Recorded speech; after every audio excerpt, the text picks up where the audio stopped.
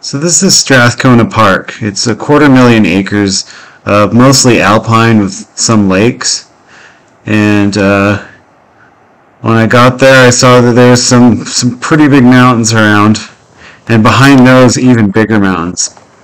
And I talked to a guy, and he suggested I should do Flower Ridge. Flower Ridge is, um, I think it's about elevation gain of about 1,400 feet. And um, if you go to the end of the trail, I think it's about 10 kilometers long.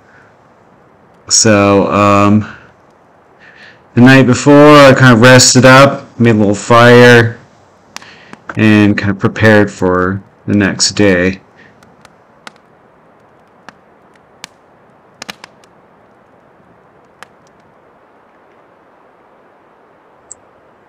Uh, this park has huge Douglas firs everywhere. These things are 160, I don't know, 180 feet tall. I think Douglas firs can grow up to about 200 feet. I don't know if there were any that big, but these were really big trees, and it was so nice to see them.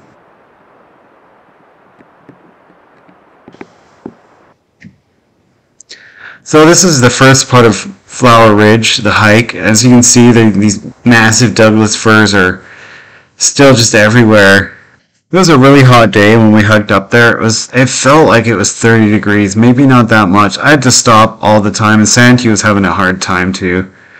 Um, but uh, when we finally started getting little patches of snow, he sat right down in the very first one and was just uh, just loving it. Then when we got up into the alpine, he just went crazy. He just so he cooled right down in the snow, and then he was just running around. He does this uh, every time we get into the snow. He just like just kind of goes crazy.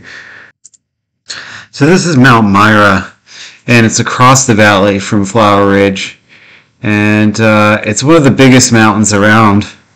And as you can see, it's got quite a bit of snow at the top, and then just kind of uh, lush green forest after that.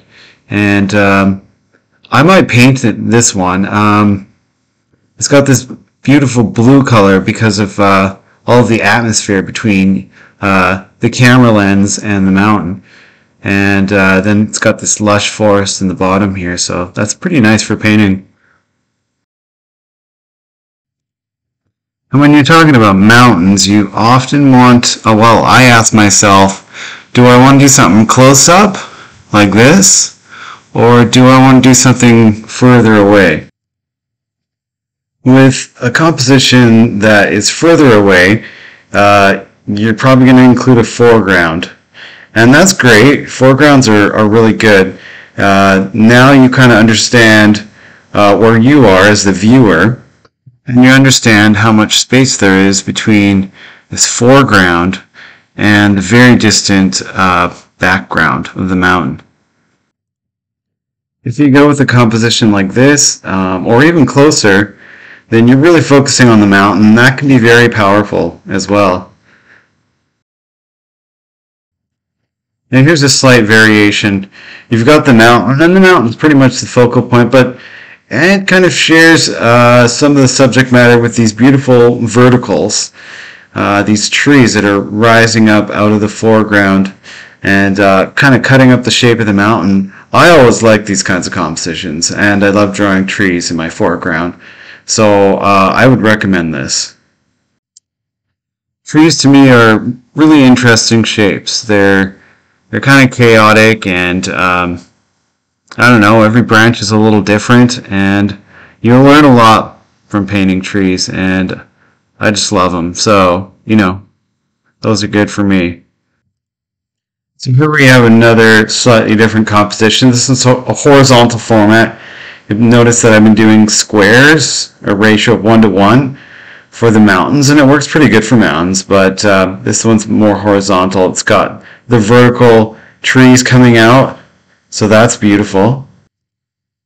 And then it's got some snow and some brown rock.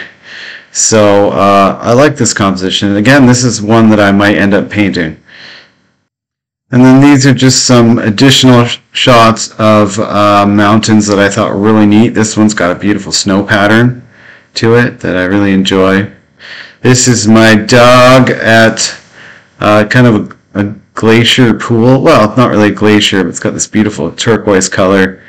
Um, so yeah, another shot with my dog. I probably won't paint these. Maybe I'd probably keep it if I painted it. Uh, and then this one. This one's uh, just a really nice. It's got a lot of space in it, a lot of distance. It's got some nice clouds. And So that's my trip to Flower Ridge. A beautiful hike, very hard hike. The trail was kind of uh, there's a lot of logs falling across the trail. It was it wasn't too well maintained. I talked to the ranger about that, and she said uh, the crew goes up there every uh, summer, so they just hadn't been up to uh, to maintain the trail. But um, I did find the top of the ridge, and yeah, I totally recommend this hike.